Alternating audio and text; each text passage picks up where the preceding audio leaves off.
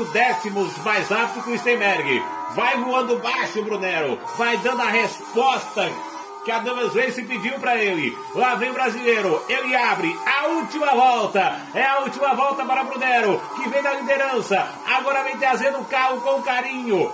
Ele diminui o ritmo agora.